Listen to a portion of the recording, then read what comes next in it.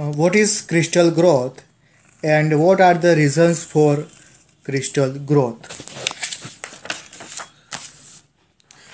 So crystal growth is the change in the particle size distribution in the suspension dosage form.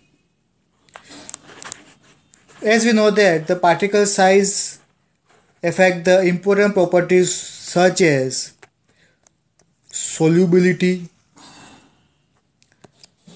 absorption and sedimentation parameters of the suspension.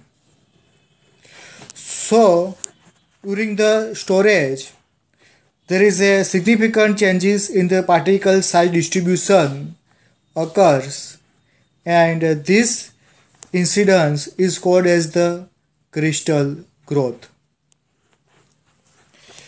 So here what happens? Suppose initially we have prepared a suspension of about uh, narrow particle size distribution such as 1 to 30 micron.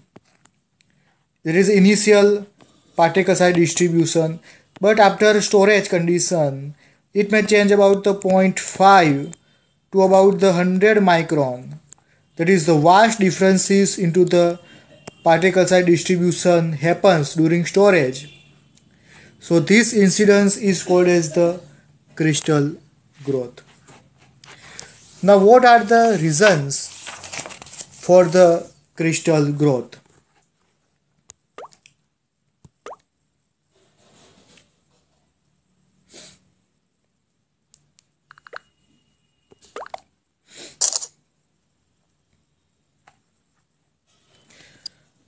Reasons for crystal growth.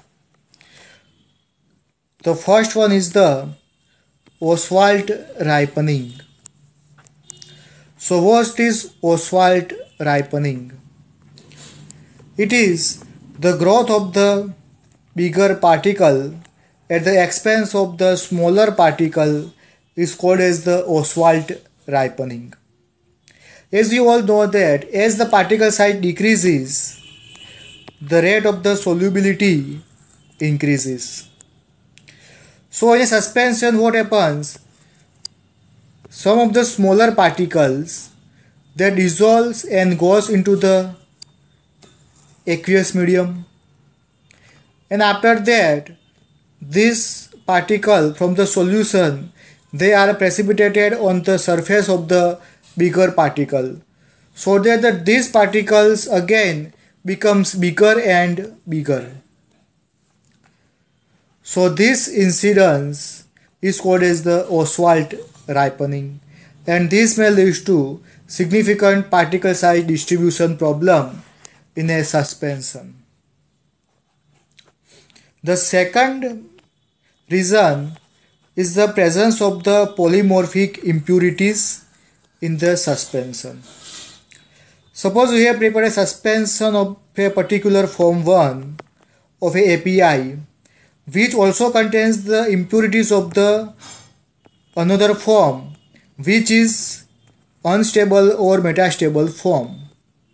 Here suppose the form 1 is a stable crystalline form of the drug substances which contains the impurities of the form 2 which is metastable or unstable as we know that the metastable form has a higher solubility so that it will go into the solution and precipitated on the surface of the stable crystalline drug substances. And again the uh, changes in the particle size distribution is observed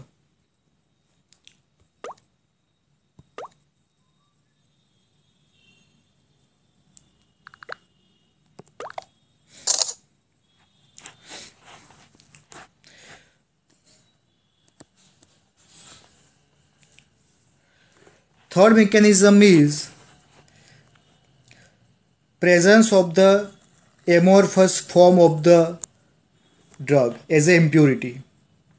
Suppose if a drug substance contain amorphous form of the drug as a impurity, then again the same problem as we have discussed earlier happens because amorphous form of rubber drug has a higher solubility as compared to the stable crystalline form and so it goes into the solution and precipitated on the surface of the stable crystalline form of the drug and changes in the PSD is observed. The next problem is changes in the polymorphic form of the drug. Suppose we have prepared a suspension of the API having form 1 which is during storage converted into the form 2. Suppose the form 1 has this, uh, this type of the shape and form 2 has about uh, this type of the shape. So these two forms has different solubilities, different absorption property and uh, different in vivo absorbance and different bioavailability. So this may happen suppose the anhydrous form may be converted into the hydrous form or hydrous form may converted into the anhydrous form. So such type of the incidence has to be kept in mind during preparation of the suspension formulation.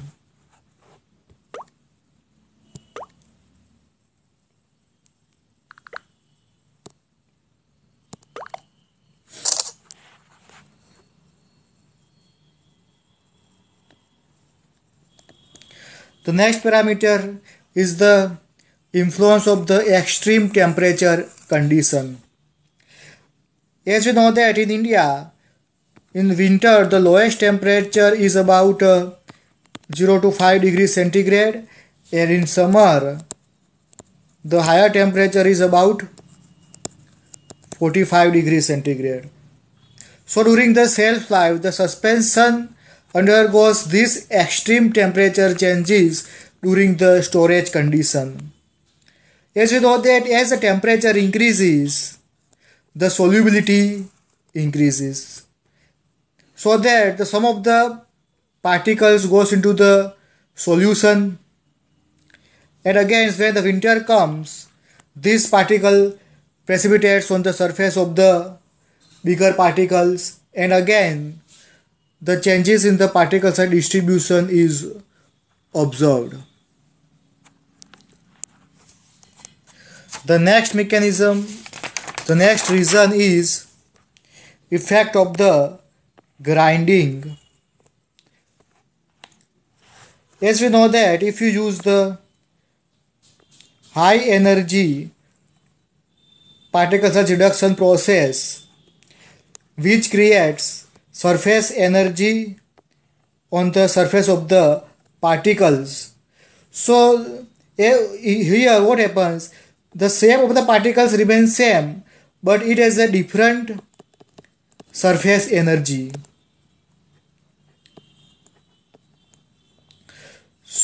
This uh, this results into the changes into the solubility and dissolution rate because of the difference in the surface energy on the particles. So these are the various reasons of the crystal growth in a suspension formulation.